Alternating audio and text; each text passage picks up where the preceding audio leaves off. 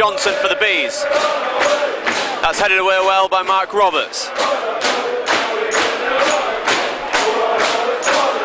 And it's out for a throw into Barnet now. It's flicked on by John Akinde. And now Michael Gash in possession. And they've worked it well down that left hand side.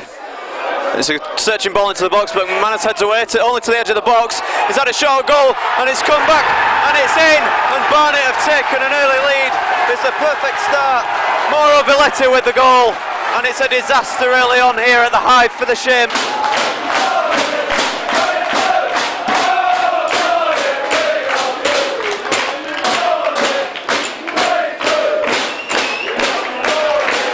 Good work there to get the ball back to David Stephens.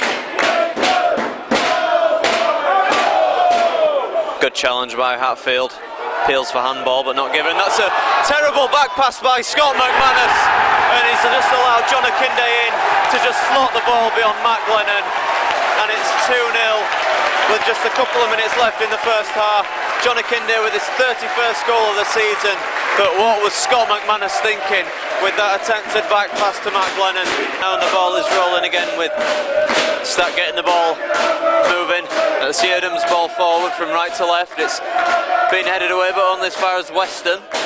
Gash now. Great ball in. Vilhete. He's got support now with Yiadom.